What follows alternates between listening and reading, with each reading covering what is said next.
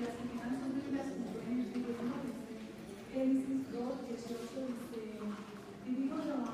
es bueno que el hombre esté